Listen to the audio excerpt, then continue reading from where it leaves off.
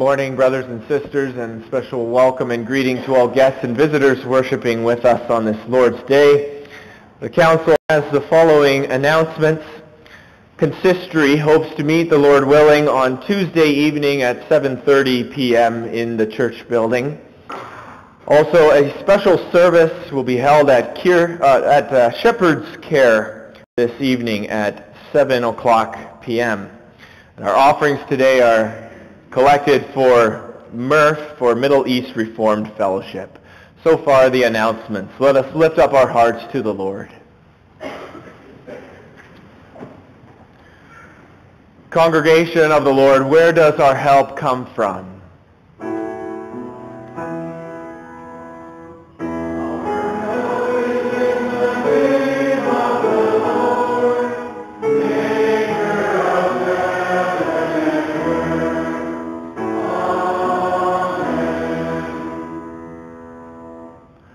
Receive now the Lord's greeting. Grace and peace to you from God our Father and our Lord Jesus Christ. Amen. Let us praise our God together by singing from Psalm 33, stanzas 1 and 4.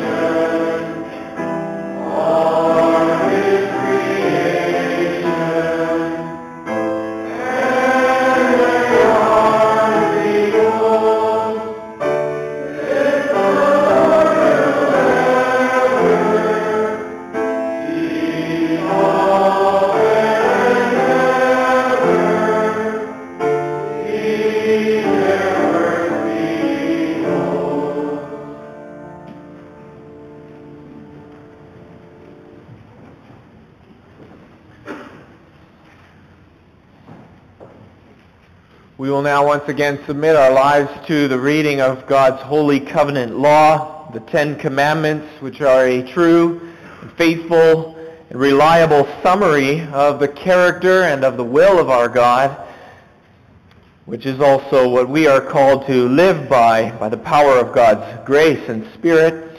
So let us read God's law this morning as we find it in Deuteronomy chapter 5, and after hearing the law, let us sing together in response from Psalm 19, stanza 6. And God said, I am the Lord your God, who brought you out of Egypt, out of the land of slavery. You shall have no other gods before me. You shall not make for yourself an idol in the form of anything in heaven above, or on the earth beneath, or in the waters below. You shall not bow down to them or worship them, for I, the Lord your God, am a jealous God, punishing the children for the sin of the fathers to the third and fourth generation of those who hate me, but showing love to a thousand generations of those who love me and keep my commandments. You shall not misuse the name of the Lord your God, for the Lord will not hold anyone guiltless who misuses his name. Observe the Sabbath day by keeping it holy, as the Lord your God has commanded you. Six days you shall labor and do all your work, but the seventh day is a Sabbath to the Lord your God.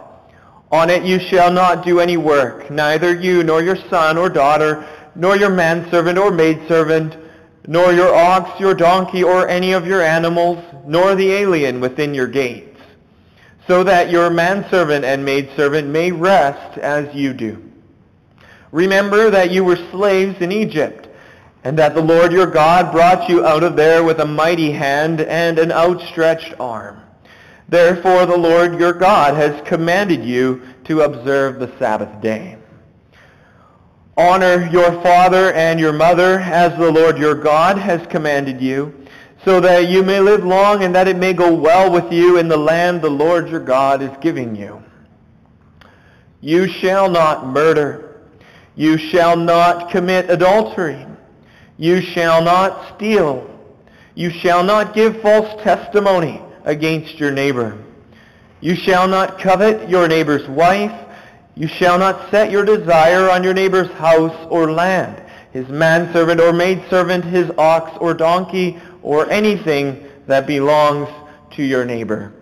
Our Lord Jesus Christ, when asked which is the greatest commandment in the law, he replied answering by summarizing, summarizing God's law by saying, You shall love the Lord your God with all your heart and with all your soul and with all your mind.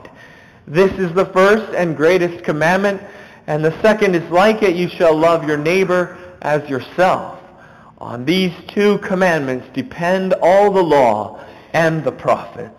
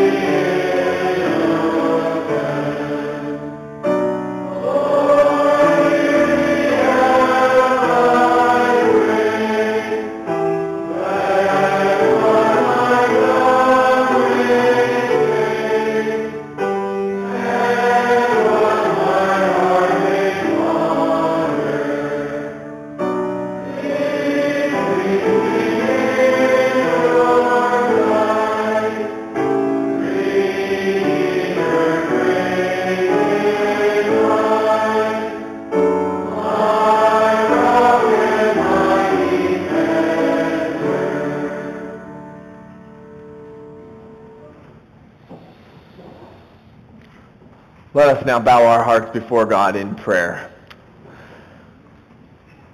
Our gracious God and Father in heaven, as we worship you on this Lord's Day, we stand aware that you are a God of perfect purity, a God who is awesome in your beauty and holy in your majesty. For you dwell in unapproachable light. You are seated on your glorious throne in heaven, where you are worshipped by all the holy angels, numbering thousand upon thousand, ten thousand upon ten thousand, praising your great name, singing, Holy, holy, holy is the Lord God Almighty.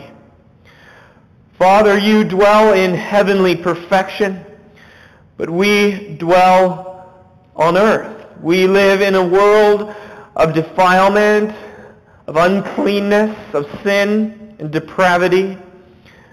Father, there is so much sin and brokenness in this world. And we confess that there is so much sin and brokenness in our own lives also. For none of us can point to our clean record, our own perfection, for we have none. We know that our records are not clean, are not free of guilt and of spot and of blemish. Father, how polluted our lives really are because of sin. Even in our best works, they too are overshadowed by sin. Lord, we are stained, each one of us, by the reality of our sins that are present in our hearts. We confess, after hearing your law, of the greed, of the evil desires, of the coveting, of our own wishes and wants that exists in us. And we admit, Heavenly Father, that we often harbor malice and wickedness in our hearts. We are not always completely trustworthy and true and transparent before you and before others.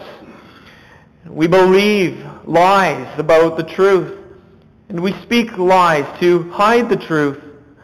We distort the truth or we twist it to our own advantage.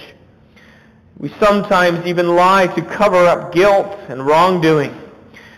And even more, we fall prey to the culture's lies about the pursuit of material things or about sexual satisfaction as what will produce true happiness and joy. And so often we give in to sin. We cave to temptation without fighting against the inclinations of our sinful will and sinful nature. In realizing who we are, O oh Lord, we confess our guilt and shame before you. For by nature our hearts are wickedly depraved. We are rebellious. We don't want to submit to you. We don't want to surrender to your will at the sake of our own will. And sometimes we show that. We do not want to submit to your will by not submitting to our fathers and mothers. We don't want to do what they tell us or to listen to their guidance and teaching, and we don't want to follow their godly example, and sometimes we do not have respect for the authorities whom Christ has set up in this world and in the church to be over us. And Lord God, we could hear your holy commandments once again this morning, and we acknowledge that as your redeemed people who have received so much blessing in Christ Jesus, we are still in need of cleansing. We are still in need of forgiveness. And so we pray once again today for the grace and mercy of the Lord Jesus Christ. We thank you for his powerful atoning work on the cross, which makes us clean. We thank you that in his blood we may be washed fully from the guilt and the power and the pollution of sin. And so we pray this morning, O God, that you will look upon us as your people who are united to Christ through his death and resurrection by faith. And because of that, we pray that you will accept us, not because of who we are in ourselves, but because of the righteousness, holiness, and innocence of Christ that is ours by faith. Heavenly Father, we thank you for the opportunity this morning to be gathered here for worship. And we pray for your blessing upon us. We pray for your blessing upon the singing, upon the offerings that will be brought to you, upon Holy Scripture, and upon the preaching that we hear. We pray may it all serve to magnify your great and awesome name. And may we all receive it eagerly and wholeheartedly, so that we may grow in the knowledge of your Son and be built up in our faith and trust in him. Hear us, we pray, for Jesus' sake. Amen. As we prepare to open and read from God's Word, let us sing together from Psalm 128, stanza 1.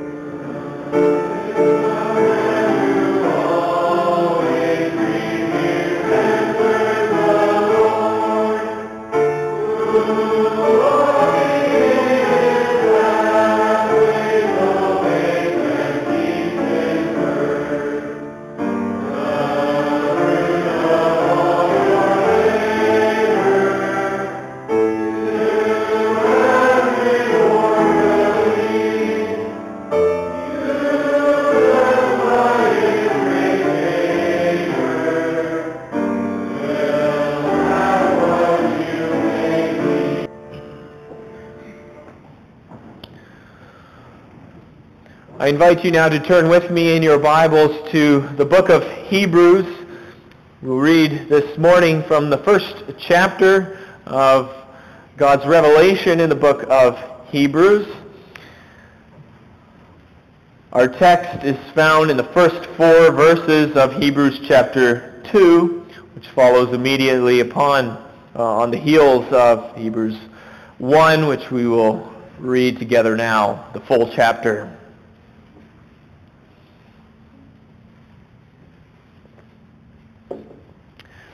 Hear now God's holy and inspired word that we find in Hebrews chapter 1, beginning at verse 1. In the past, God spoke to our forefathers through the prophets at many times and in various ways, but in these last days he has spoken to us by his Son, whom he appointed heir of all things and through whom he made the universe. The Son is the radiance of God's glory and the exact representation of his being, sustaining all things by his powerful word. After he had provided purification for sins, he sat down at the right hand of the majesty in heaven. So he became as much superior to the angels as the name he has inherited is superior to theirs. For to which of the angels did God ever say, You are my son. Today I have become your father. Or again, I will be his father and he will be my son. And again, when God brings his firstborn into the world, he says, Let all God's angels worship him. In speaking of the angels, he says, He makes his angels winds, his servants flames of fire. But about the Son, he says, Your throne, O God, will last forever and ever, and righteousness will be the scepter of your kingdom. You have loved righteousness and hated wickedness. Therefore God, your God, has set you above your companions by anointing you with the oil of joy. He also says, in the beginning, O Lord, you laid the foundations of the earth and the heavens, and, and the heavens are the work of your hands. They will perish, but you remain. They will all wear out like a garment. You will roll them up like a robe, like a garment. They will be changed. But you remain the same, and your years will never end. To which of the angels did God ever say, Sit at my right hand until I make your enemies a footstool for your feet. Are not all angels ministering spirits sent to serve those who will inherit salvation? Here begins our text. We must pay the more careful attention, therefore, to what we have heard, so that we do not drift away. For if the message spoken by angels was binding, and every violation and disobedience received its just punishment, how shall we escape if we ignore such a great salvation? This salvation, which was first announced by the Lord, was confirmed to us by those who heard him. God also testified to it by signs, wonders, and various miracles and gifts of the Holy Spirit distributed according to his will. So far, our reading of the text this morning, as well as the reading of God's Word, may he bless it to our hearts. In response to the proclamation of God's Word, we will sing from hymn 55, all the stanzas of hymn 55.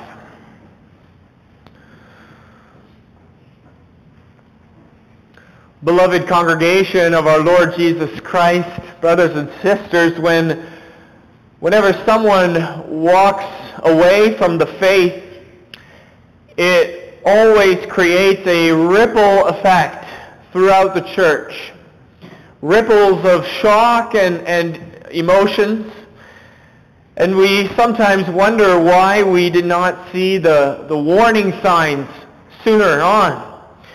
Or maybe we think back and, and through hindsight we flag certain alarming signals or trends which we may have witnessed earlier but never thought would, would materialize into anything more.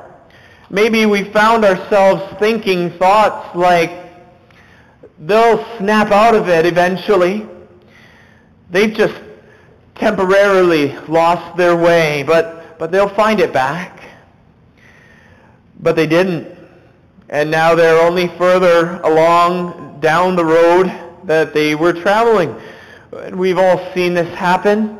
And it hits closer to home to some than to others, to be sure. And, and yet that always seems to blindside us. We're tempted to say at times like these, how could this happen? What went wrong here? Those sorts of things. And that's where the text that we read this morning comes in. Our text alerts us to pay more careful attention lest we go the same route lest we backslide, lest we grow apostate and turn away from the Lord and, and he also from us. And this is a warning that we all must hear. For no one is immune from drifting. We must therefore pay more careful attention to use the opening words of our text. And so the Word of God comes to you this morning as summarized under this theme, keep from drifting by being anchored in Christ. And we will see two points under this theme. And the two points are first, the danger of drifting, and secondly, the corrective to drifting. First, the danger of drifting. Secondly, the corrective to drifting. First, we see the danger. Well, before we dig deeper into our text, it's good again to refresh ourselves about the background uh, to the book of Hebrews. The book, though he is unidentified, was writing to a church community, perhaps a small one, made up of Hebrew Christians. These Hebrew Christians who were suffering great pressure to go back to their former ways, their former Jewish ways. The challenge these newly converted Christians were facing was to abandon the way of trusting in and following Jesus Christ, to go back to the way of the law. These Christians would in all likelihood have had family and, and friends surrounding them who, who had not been converted like them, who were saying things like, what, what have you done? Turn around. Come back. Come back to your, to your Jewish ways without Jesus. Forget about this stuff. Put it away. Don't go away from this great system that we have to what you have now. And you can imagine the pressure that they were under. Now you'll notice that the author never anywhere even gives the slightest impression that the law was obsolete, no longer necessary, something to do away with. He never disputes the greatness of what God had given in the law centuries before. He never downgrades the law because he knew its truth and its relevance as a faithful and reliable summary of the character and will of our God. It was a, a spectacular thing, a great and glorious thing, the law. And it is not something that we should ever toss aside today, even though many churches today have, have chosen to do that. It doesn't factor in to their worship, their service very much. And yet, the Hebrew Christians for whom this letter was written were being told to dump Christ, to forsake Christ for the sake of the law. But just like the law should not be undervalued, neither should it be overvalued. For we, if we undervalue the law, then we will also undervalue the death of Jesus Christ. But if we overvalue the law so that we think that it is all that is necessary, then we've surrendered the gospel of grace for, the, for a false gospel of thinking that we can be saved by our works. In either case, by undervaluing the law or by overvaluing the law, we are failing to see our need for Christ. This failure to see the greatness of Christ is what the author refers to in our text as drifting. Now, drifting here does not have the sense of, of drifting pleasantly down the river in a, in a boat or on an inner tube. Or, nor is our text giving the impression that someone commandeering a boat is deliberately and suicidally steering toward the rocks in order to ram into the shore.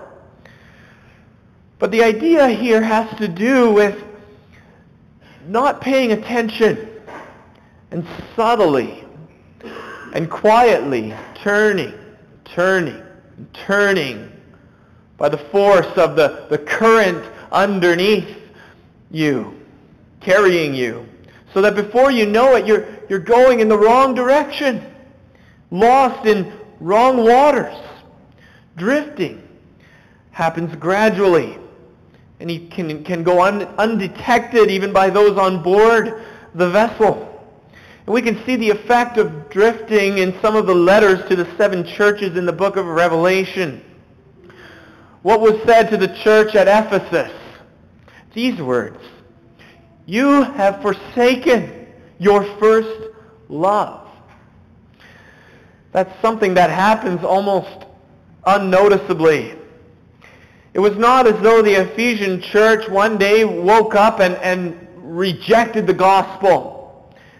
They first stopped loving it. And then to the church of Laodicea, what was said to them? You are neither hot nor cold. You are lukewarm.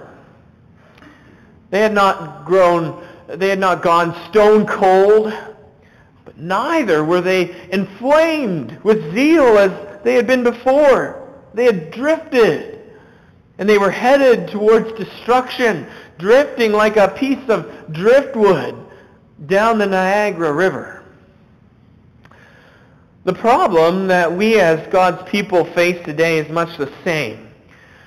We do not, as of yet, by God's grace, fear a, a frontal attack with guns aimed at our faces or at the faces of our loved ones, demanding that we renounce our confession in Jesus Christ. That's not what we face yet to this point. Today, our, our danger is to drift, to ignore such a great salvation. Doesn't matter how good of a beginning we had. Doesn't matter if we were doing well earlier at some point in a former stage of life, none of that matters if you do not continue steadfastly to the end. This is a serious matter as verses 2 and 3 bring out. There it says, For if the message spoken by angels was binding, and every violation and disobedience received its just punishment, how shall we escape if we ignore such a great salvation? Well, the text there is making a, a comparison between the punishments handed out against those who disobeyed in the Old Covenant era to the punishment that awaits those who disobey in the New Covenant era in which we live. Already in the Old Covenant, disobedience against God brought swift judgment as we know in the case of Korah, Dathan, and Abiram, who rebelled against Moses and Aaron. The ground swallowed them up. Or in the case of Gehazi, the servant of Elisha, whose, whose greed got the worst of him, he was immediately inflicted with leprosy. Or we can think of the exile into captivity for the nation of Israel after the people of Israel refused again and again to listen to the prophets and to turn from their unbelieving ways. God brought severe judgment and punishment upon them for rejecting his gifts, his gifts like the law, his, his words of promise to them, the holy institutions he had given them of temple worship and Sabbath day rest. If he was severe to them, how much more severe will he be towards those who reject his greatest gift of all, the, the gospel of Jesus Christ, his own beloved Son. The greater the privilege, the greater the punishment. The author of Hebrews reminds his readers that they had heard of such a great salvation so that they cannot afford to make the mistake of ignoring it. Now, why was it so great? Why, what was so great about this salvation? Well, first, because it is a word from God. It's from God, spoken, as it says in chapter 1, verses 1 to 3, in these last days. Now, that wasn't simply a time marker, but the phrase last days, scripturally understood, are the days in which you and I find ourselves to be living in between the time of Christ's first coming and the, his coming again at the end of the age.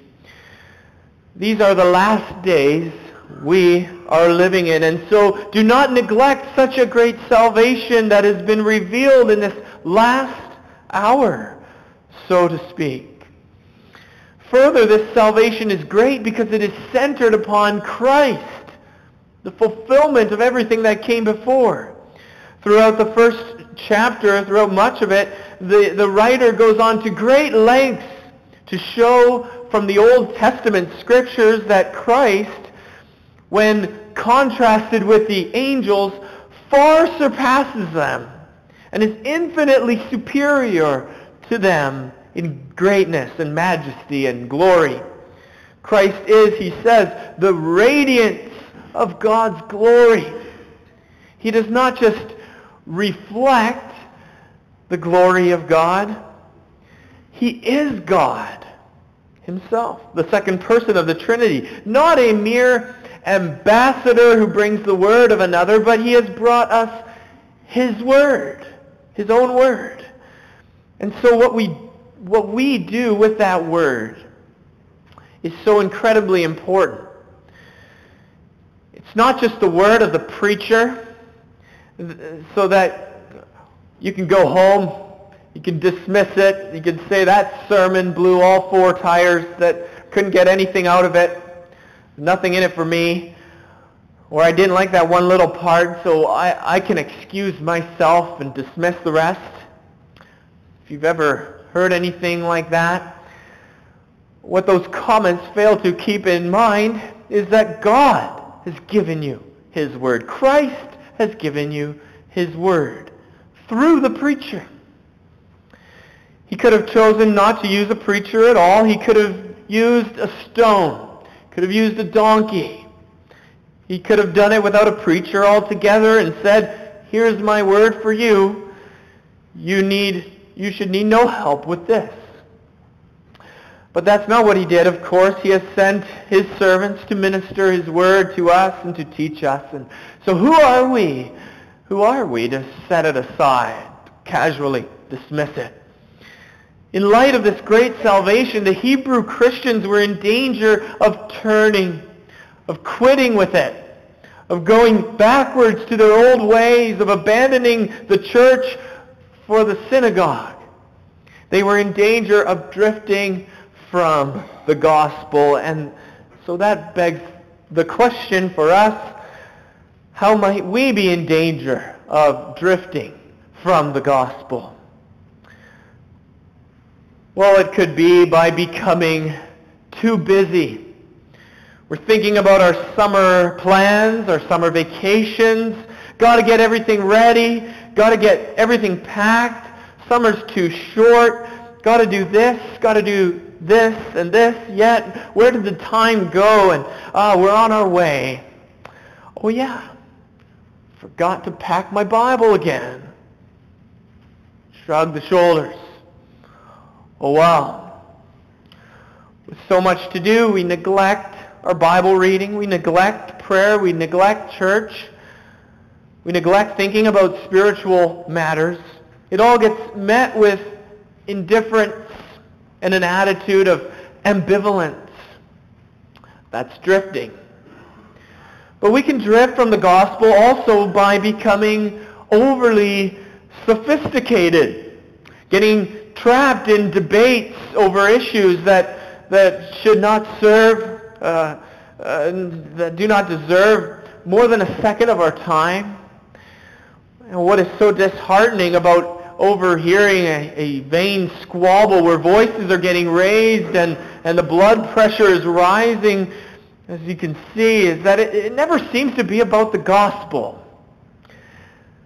But it's so often about some insignificant footnote to the gospel.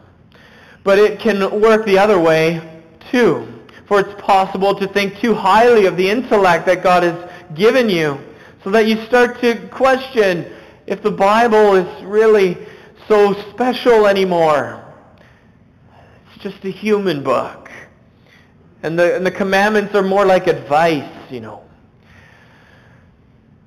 And this is an old book. Is it really relevant for today, for me? You know, that's the start of drifting.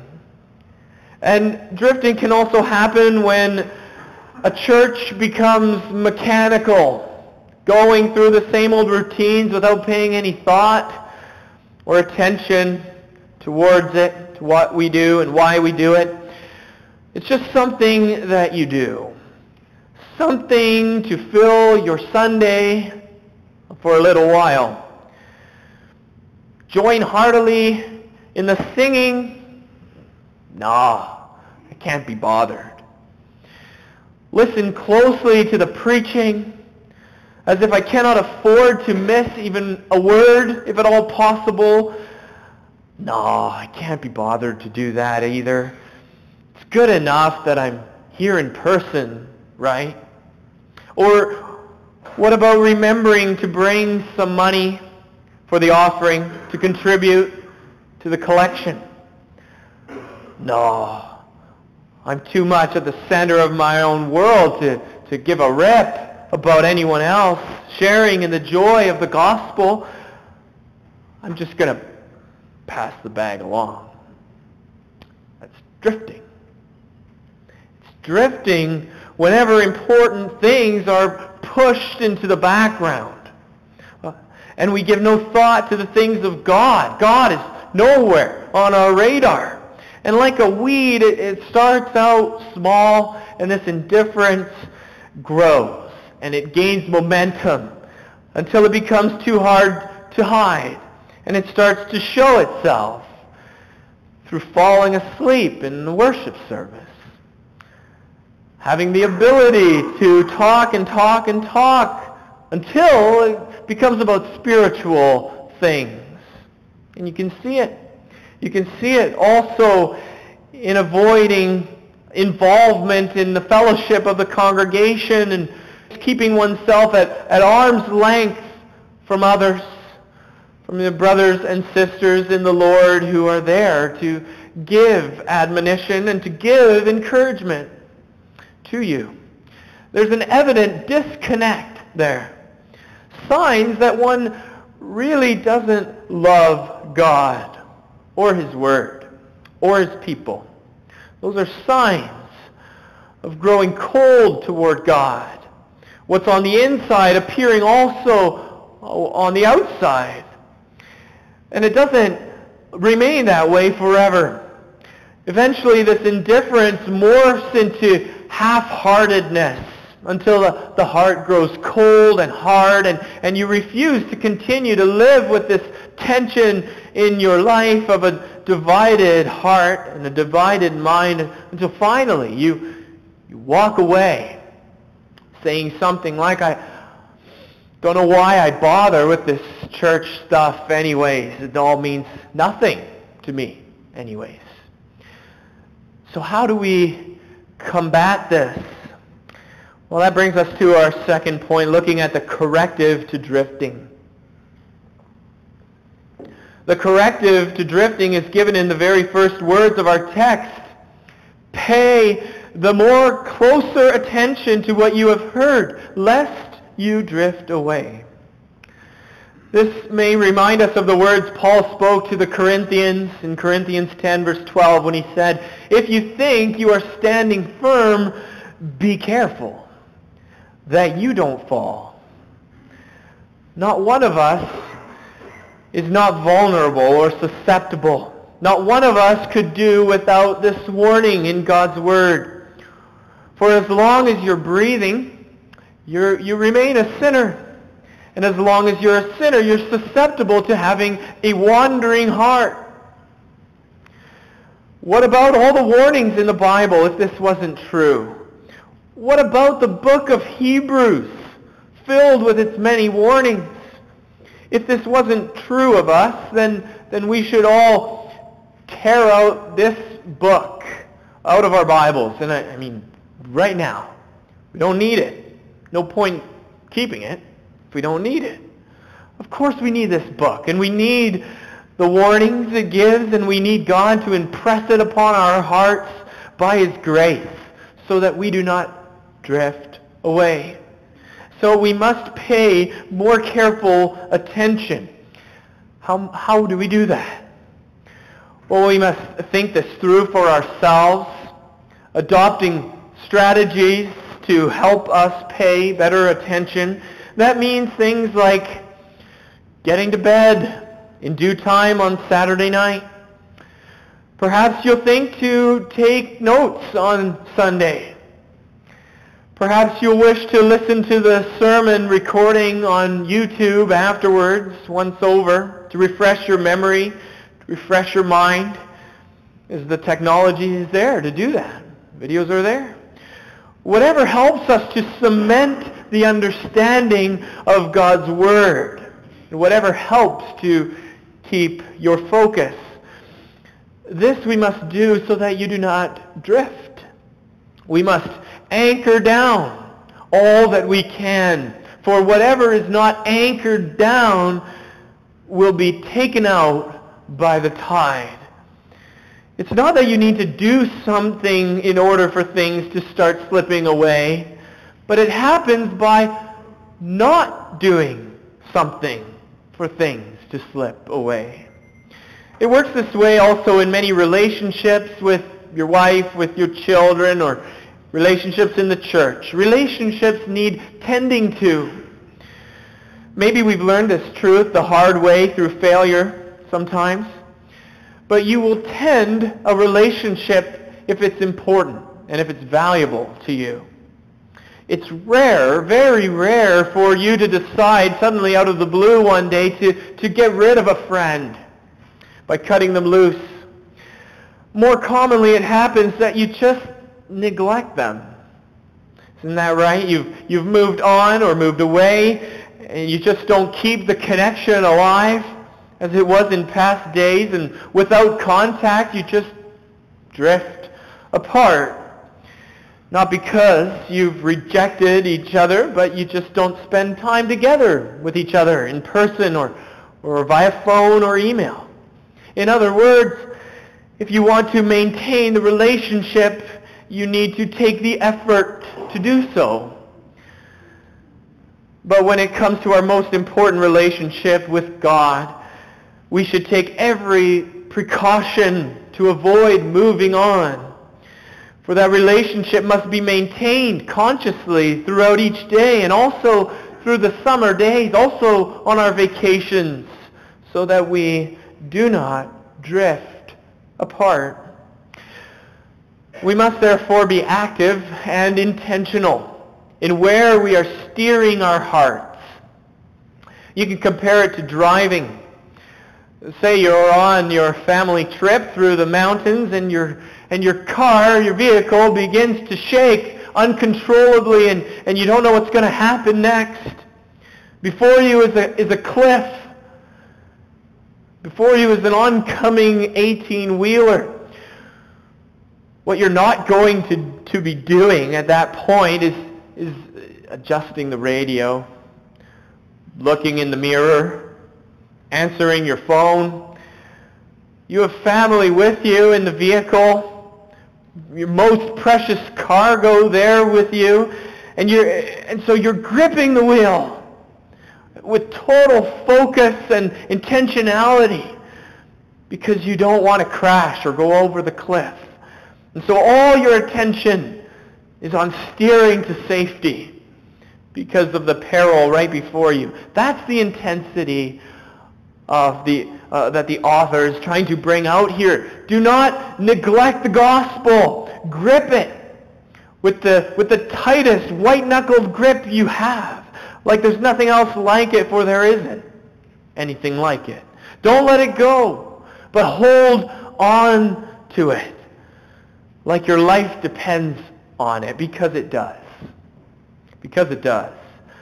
Steer your heart in the course of faithfulness to Christ. And an implication of this is that, an implication of our text is that it's not enough to hear or to read the Bible but we must delight in the truth of the Bible as we heard a, a few Sundays ago when we looked at Psalm 1. In our devotions, it's too easy, uh, we too easily swish it around in our mouth like it's mouthwash. Oh yeah, Psalm 18. Oh yeah, 1 Corinthians 4. Swish, swish. Spit out the door, off to work, turn on the radio. And what did you read earlier today? I don't know, wears off that quickly. And so there needs to be an intentionality of drinking in the gospel, of savoring it, of enjoying it.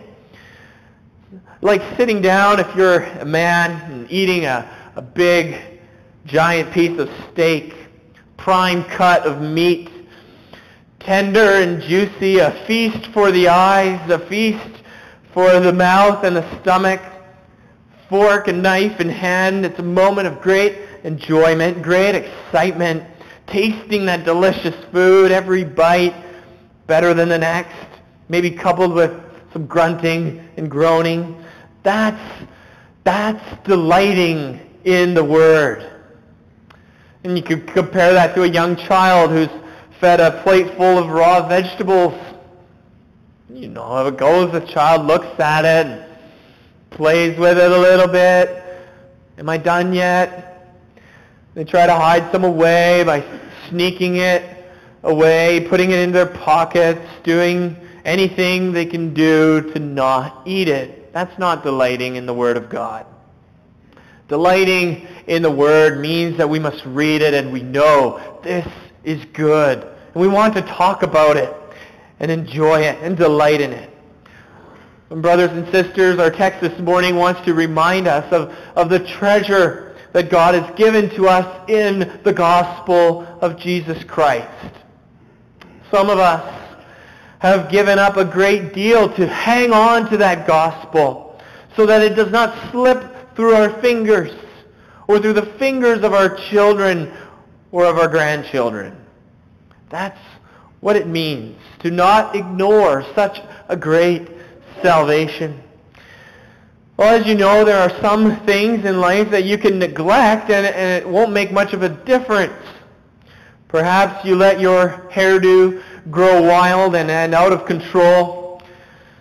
Perhaps your lawn gets pretty long before you get around to cutting it. But then there are other times when neglect has bigger consequences, such as when you have to make it to the airport for your flight. You haven't been checking your, your clock very closely. And even once you're there, you're not really listening, not paying attention to, to them calling out your name on the loudspeakers. And so you don't get to your flight in time. It's a bit bigger of a nuisance. And yet even that is, is not, eh, not so much of a hassle because you can just catch a later flight. But if you ignore such a great salvation, there are no other opportunities that you get. There are deadly consequences at stake for how you live this life. It's the only life that you get.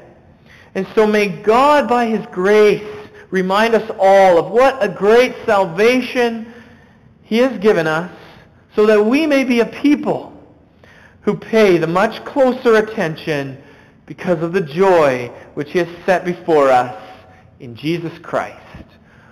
Amen.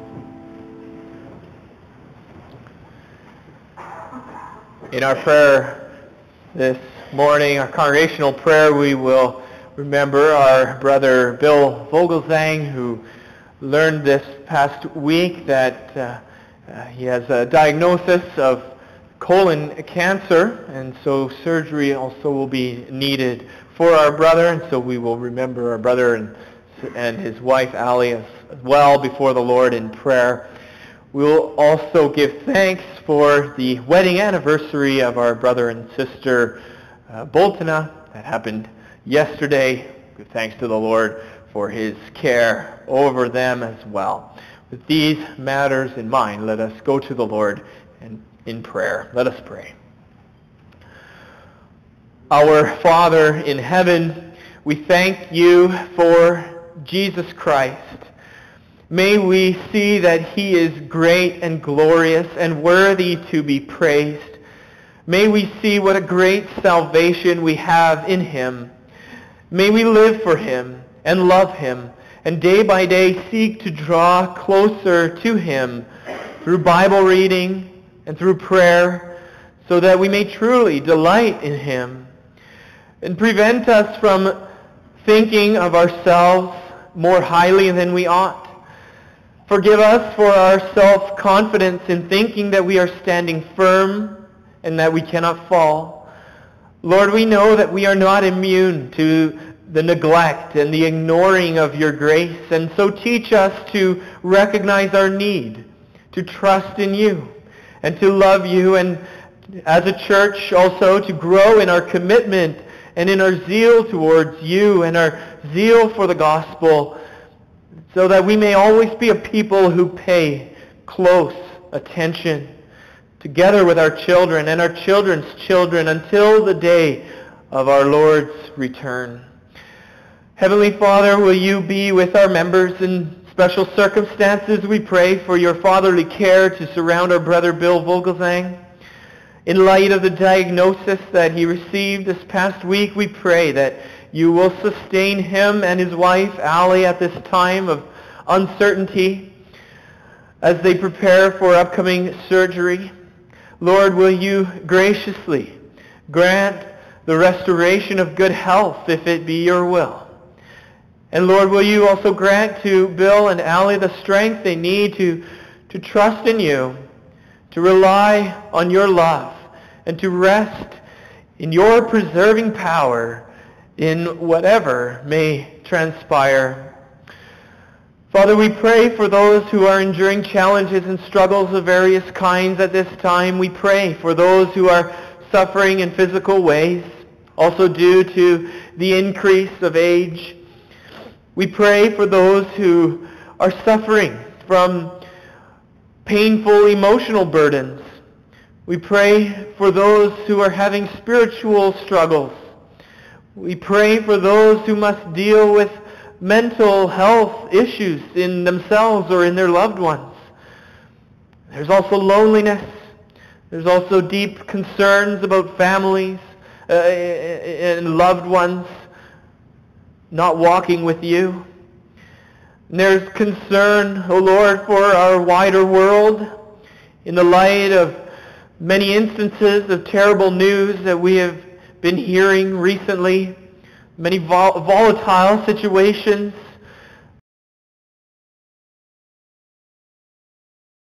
Recent tragedies, all the damage that they have caused in this world, caused to many victims and to their families.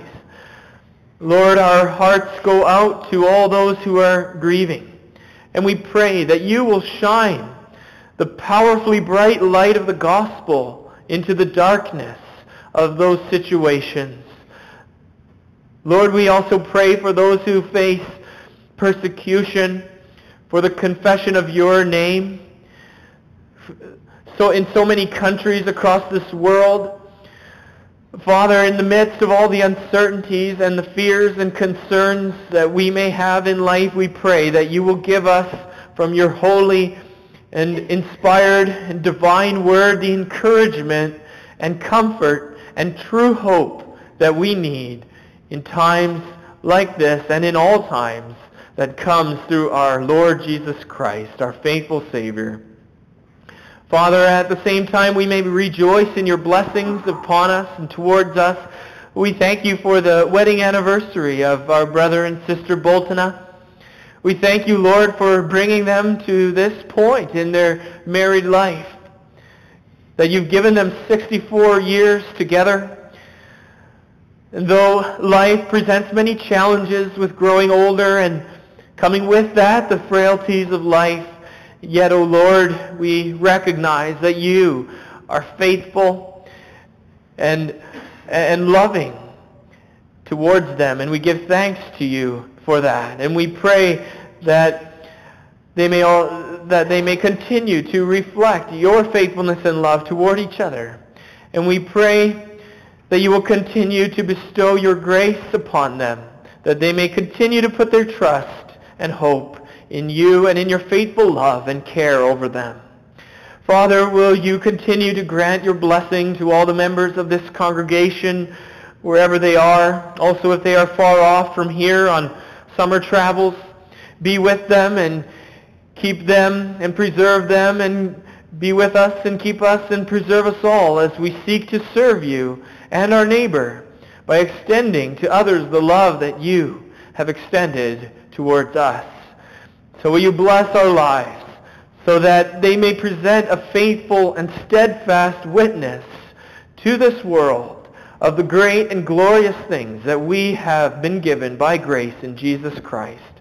Father, will you hear our prayer and our petitions? Will you accept our thanksgiving and keep us in your grace? For we ask it all in the name of our Lord Jesus Christ. Amen. The Lord now gives you an opportunity to bring your offerings and thankfulness to the Lord, to worship him by doing so. After the offering has been collected, let us stand and sing together in closing from hymn 83, all the stanzas.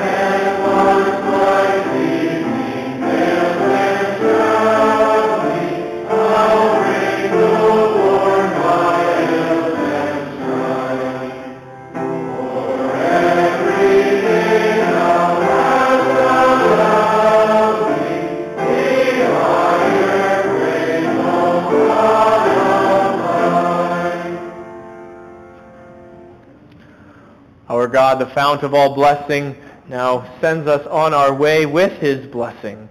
Receive now the blessing of the Lord. The Lord bless you and keep you. The Lord make his face to shine upon you and be gracious to you. The Lord turn his face toward you and give you peace. Amen.